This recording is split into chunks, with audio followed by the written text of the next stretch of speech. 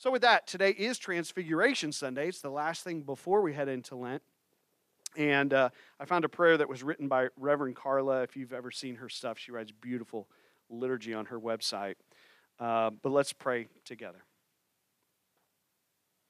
Holy One, we come before you, many of us feeling like we have climbed just a part of the mountain, and there's so much more of a climb left to even get to point to dream that we might be dazzled by what is divine.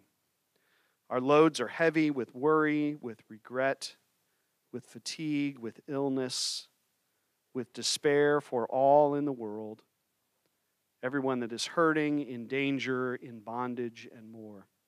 We trudge ahead, following you, stumbling, hoping, praying, breathing hard hearts pounding, and yes, even some of us are nimble and skipping. Lead us, Lord, to the top of that mountain, where we might be dazzled by your light, lifted by what is divine, filled by the sheer delight of what is numinous and ethereal and grounded and real.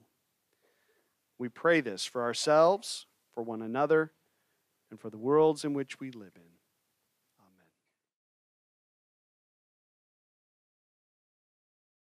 Transfiguration Sunday. Guess what we're reading about today? The Transfiguration. We're going to read it from the Gospel of Mark today, Mark's version of the Transfiguration. They're all slightly different. Uh, but this is found in Mark chapter 9, verses 2 through 9. Listen now for a word from the Lord. Six days later, Jesus took with him Peter and James and John and led them up a high mountain apart by themselves. And he was transfigured before them, and his clothes became dazzling white, such as no one on earth could bleach them. And there appeared to them Elijah with Moses, who were talking with Jesus. Then Peter said to Jesus, Rabbi, it is good for us to be here. Let us make three dwellings one for you, one for Moses, and one for Elijah. He did not know what to say, for they were terrified. Then a cloud overshadowed them, and from the cloud there came a voice This is my Son, the beloved. Listen to him. Suddenly, when they looked around, they saw no one with them anymore, but only Jesus. As they were coming down the mountain, he ordered them to tell no one about what they had seen until after the Son of Man had risen from the dead. A word from God for the people of God.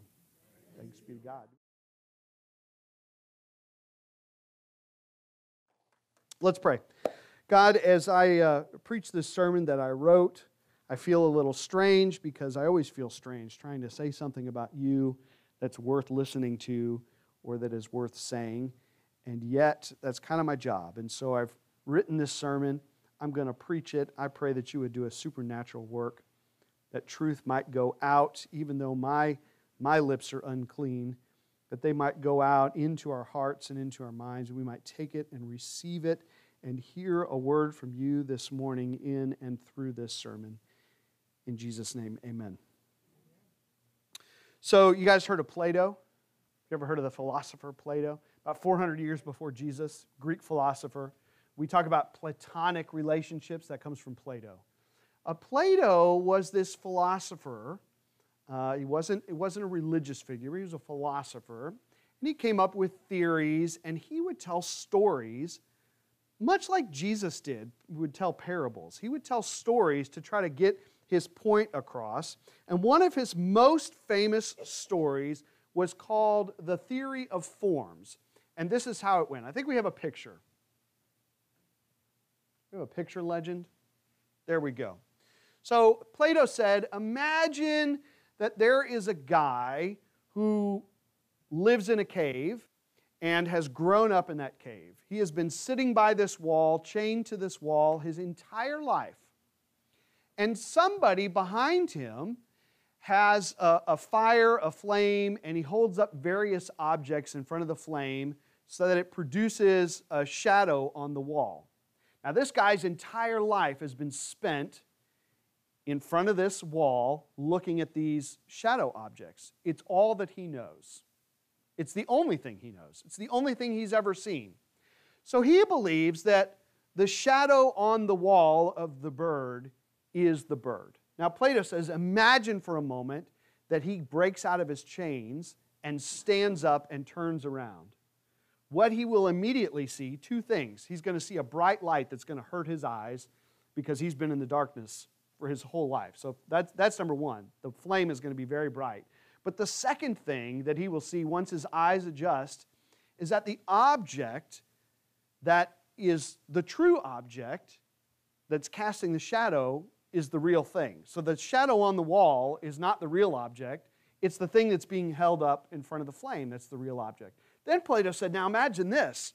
Now imagine this guy starts following the cave passages and actually manages to get outside.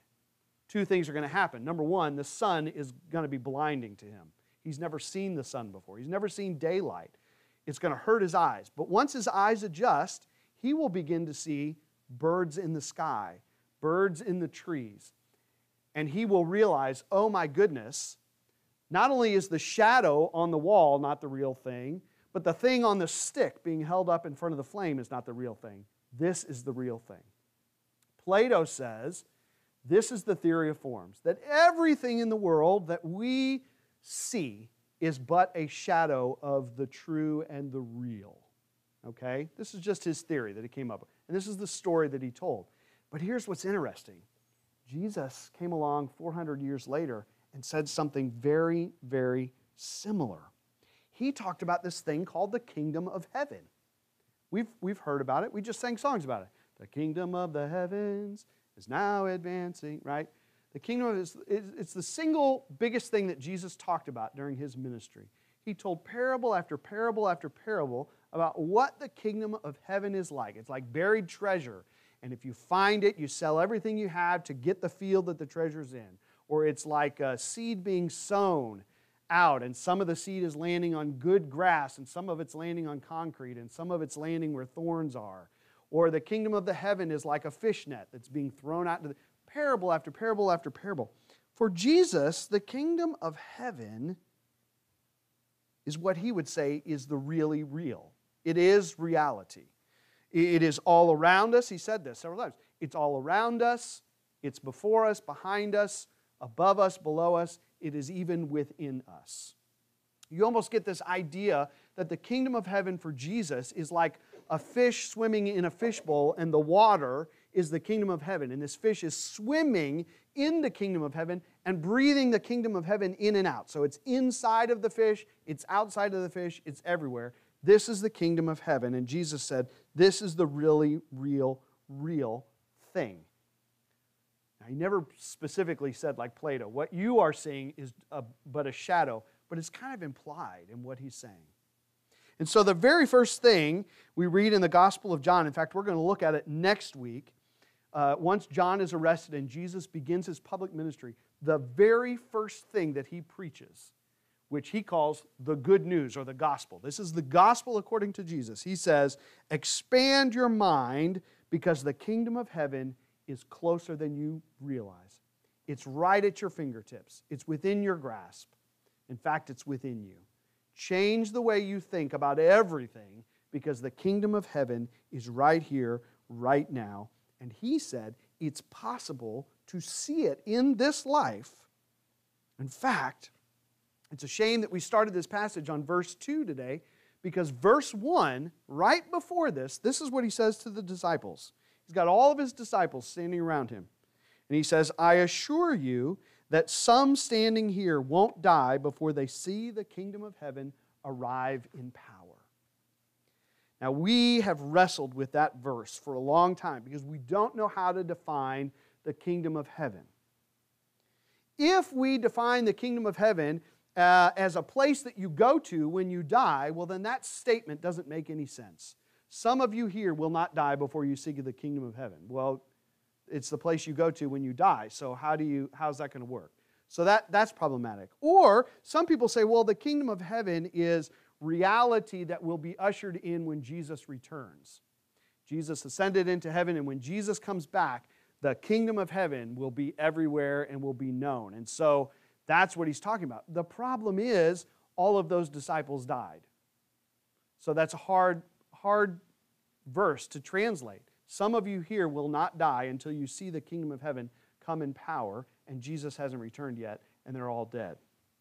Other people say that the kingdom of heaven is what Jesus meant when he ascended into heaven to sit at the right hand of the Father, uh, you know, until all the enemies are put under his, his uh, feet.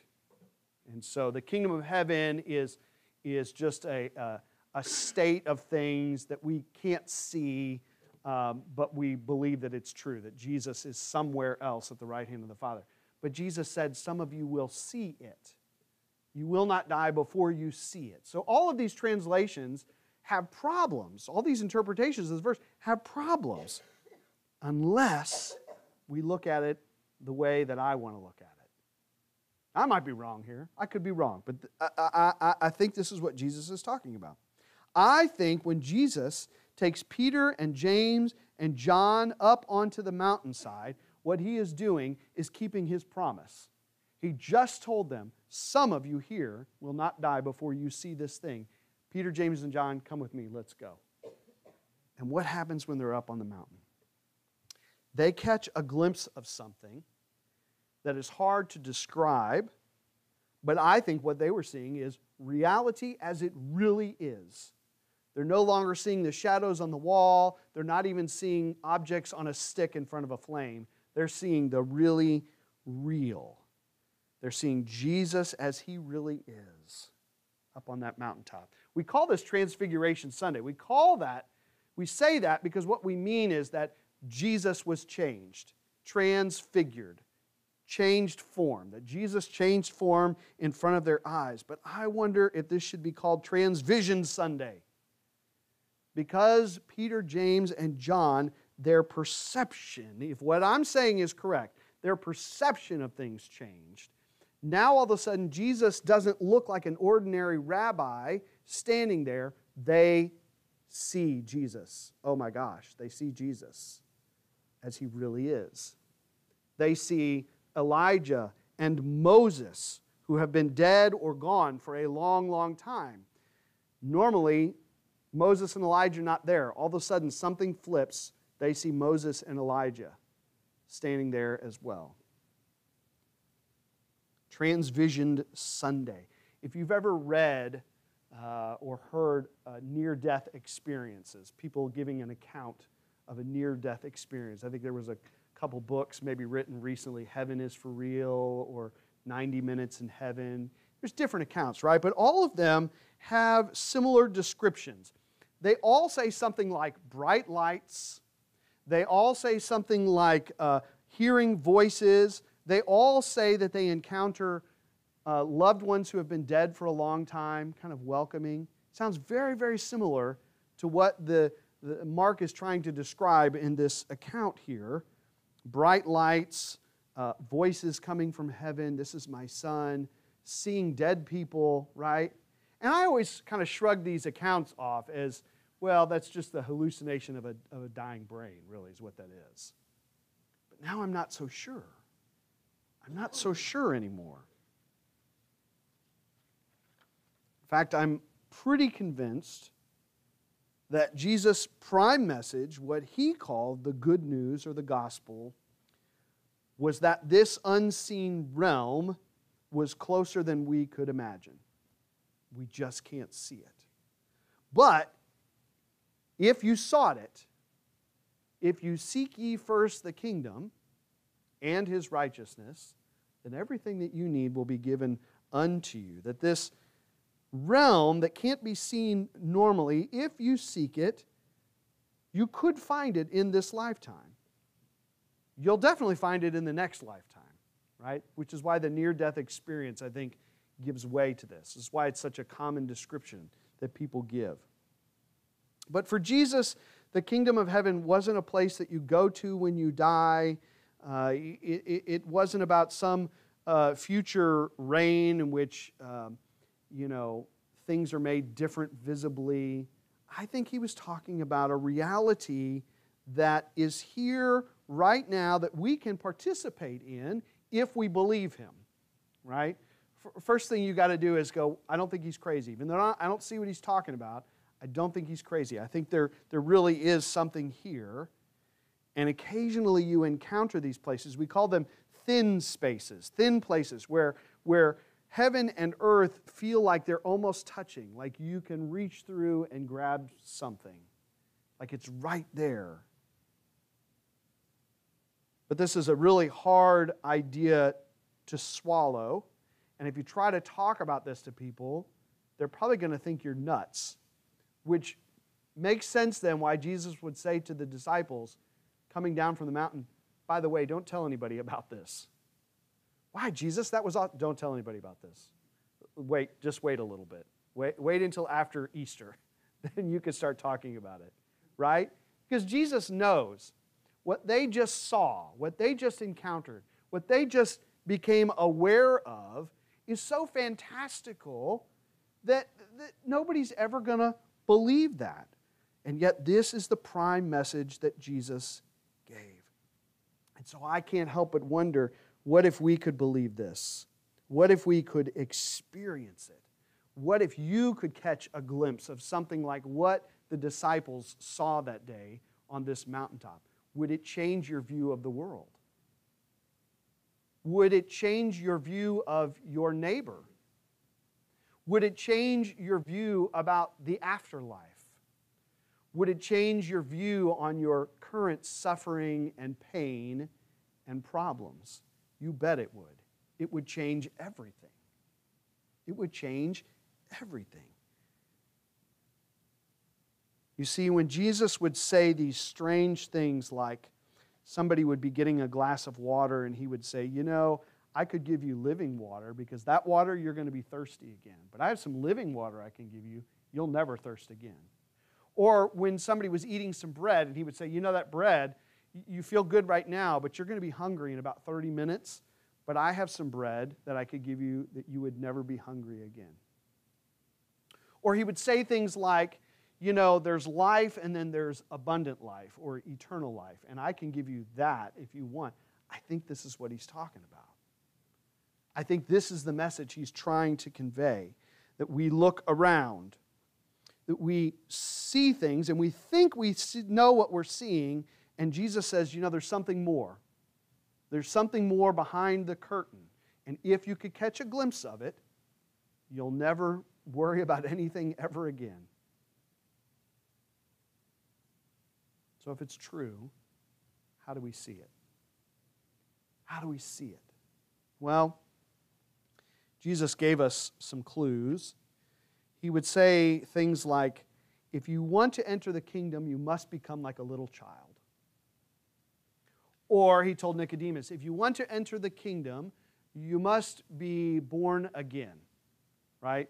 Two, two ways of saying something to the effect of uh, your grown up thinking, you, you think you've got it all together, you got to do away with all of that.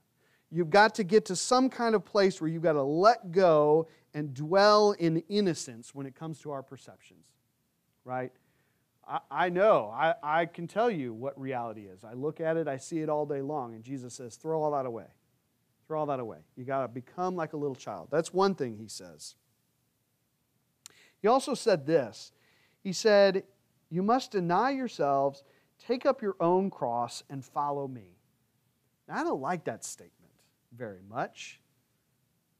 I, I can guess what it probably means. It probably means death of self some type of dropping of my defenses, uh, following Jesus into scary and dark places. That, that's probably what it means.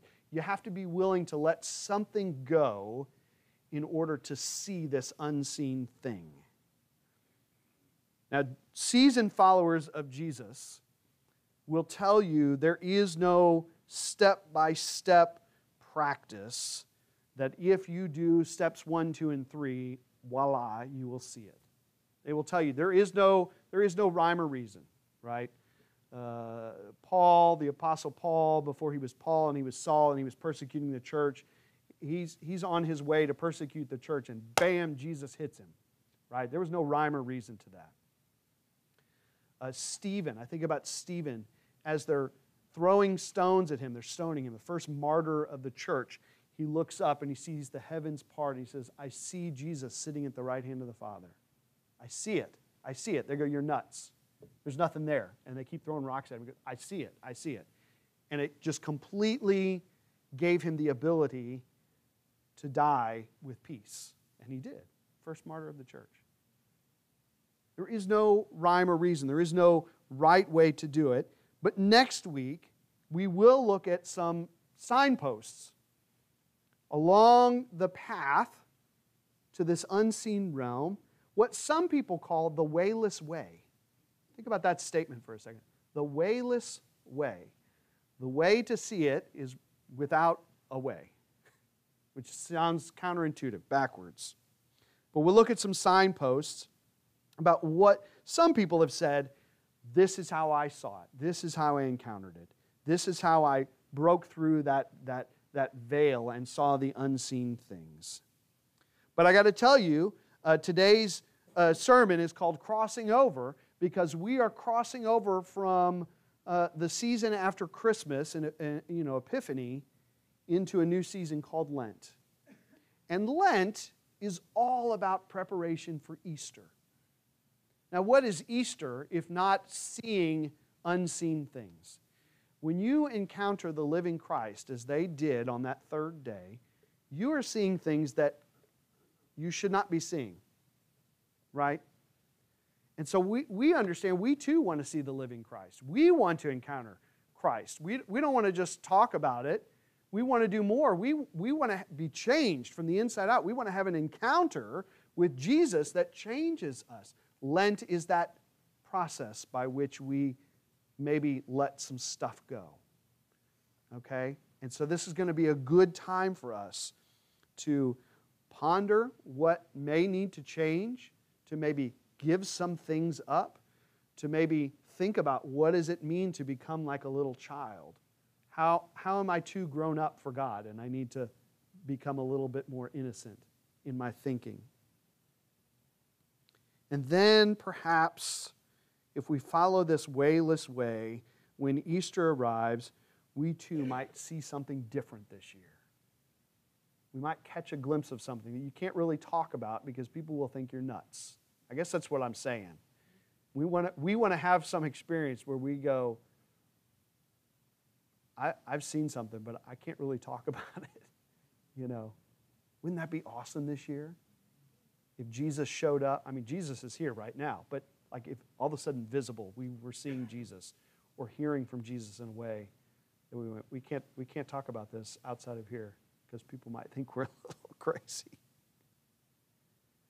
I think that that place will be something like Plato described, where the light of it is probably blinding to our eyes because we haven't encountered anything like this before. There may be, may be some, some voices some hearing of something from the heavenly realms that we can't describe or we, we don't know what to do with it. There may be some, some idea that, that our loved ones who have gone on before are also in this place, which is right here, somehow, some way.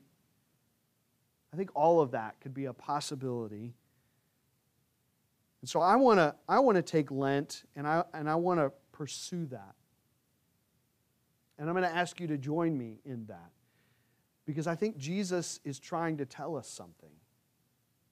And I think that it's really real.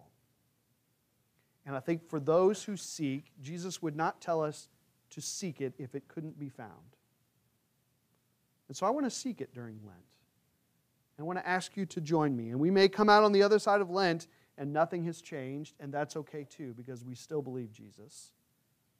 But isn't it worth pursuing looking, thinking, changing, letting go.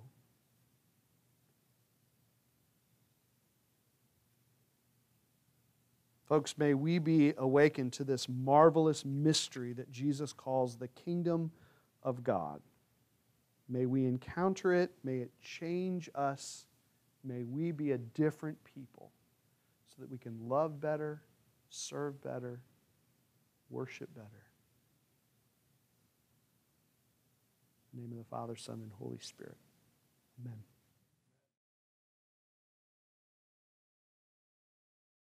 You grab the hand of the person next to you?